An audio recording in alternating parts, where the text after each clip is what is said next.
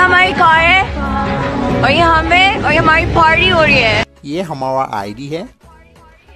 ये हमारा महँगा हैक है और ये हमारी आईडी बैन हो रही है।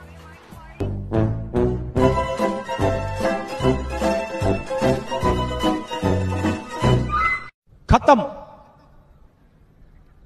Bye bye tata goodbye गया।